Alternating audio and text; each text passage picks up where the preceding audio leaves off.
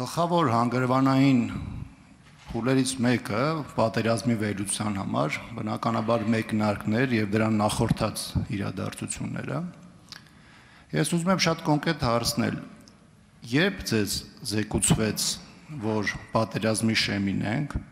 կամ իրադարձությունները բավականին կտրուկ զարգացում են ապրել եւ բավականին մեծացել է պատերազմի հավանականությունը։ Այս տեսանկյունից շատ կարևոր կլիներ, որպեսզի դուք նշեիք ոչ միայն ամսաթիվը, այլ մոտավորապես ժամերը, որովհետև դրանից շատ ու շատ այլ դրվագներ է կախված։ Շնորհակալություն։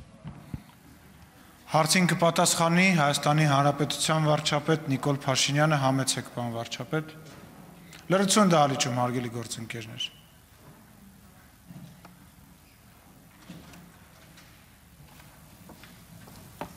Շնորհակալ եմ հարցի համար։ Ըստ էության պիտի արձանագրենք, որ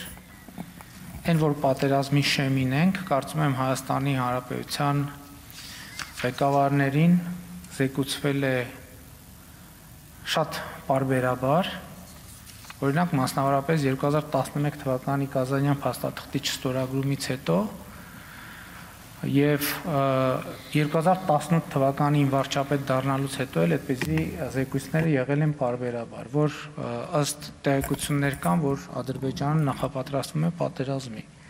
Եվ այս ամբիոնից Սերժ Սարգսյանի արած հայտարարությունն էլ ա եղել, երբ որ ըստ էության ինքը ասել է, որ մենք այս պայից սկսած ցանկացած պայի պետքա սпасենք պատերազմի։ Ես ուզում եմ, որ երկու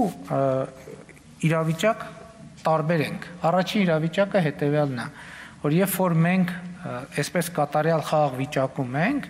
մեկ էլ տեղեկություն է գալիս, որ պատերազմը հնարավոր է, այդ կարմիր բոլոր լույսերը վառվում են։ Իսկ երբ որ պատերազմը հնարավոր է եւ դա ակնհայտ է, եւ անընդհատ հնչում են հայտարարություններ, որ հեսա ռազմական ճանապարհով Ղարաբաղի հարցը լուծվելու, այդ պատերազմի մասին տեղեկություններ իրենք դառնում են սովորական լրահոսի նման մի բան։ Իսկ կոնկրետ ձեր ասածը, որ այ կոնկրետ շատ տեղեկություն, որը նաև հա, շատ կարևոր է նաև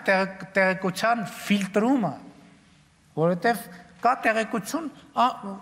գործնականում ամեն օր էլ գալիս է տեղեկություն, որ եկել է տեղեկություն, որ պատերազմը հնարավոր է, բայց հետո երբ որ ֆիլտրվում է, նաև ինստիտուտները ֆիլտրում են այդ տեղեկությունը եւ ի վերջո գնահատական են տալիս, դա ինչքանով է հնարավոր։ Իմ հիմա հիշողության մեջ արձանագրված է, որ սեպտեմբերի 27-ից 2 օր առաջ ինչ որ ռադիո ռադիո բաներ կլանում էր տեղի ունեցել մի նախադասություն, որը շատ այդպես այդ առումով վստահելի էր թվացել։ Դա տեղի է ունեցել ես հիմա 1-2 օր առաջ։ Բայց դրանից առաջ անընդհատ եղել այդ տվյալներ, որ պատերազմա լինելու, որ Ադրբեջանը ըստ էության 2010 2016 թվականի պատերազմից հետո էլ ըստ էության քաղաքական ուղեգիծը շարունակել է եւ այդպես շարունակ։